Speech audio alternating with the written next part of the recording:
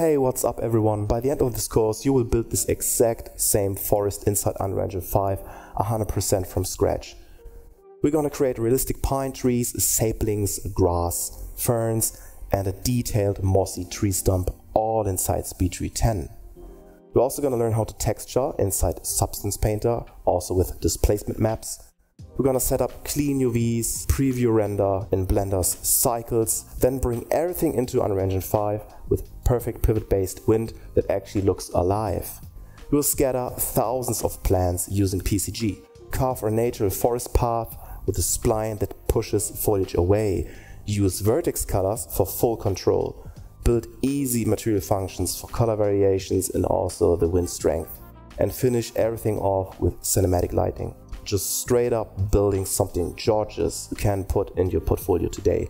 Let's go make it.